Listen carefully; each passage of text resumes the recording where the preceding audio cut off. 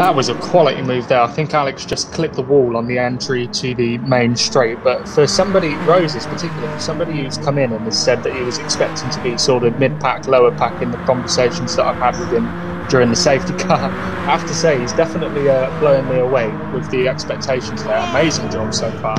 Yeah, another hit in the wall there. Absolutely incredible stuff um, to the gentleman or uh, Christian, whoever, whoever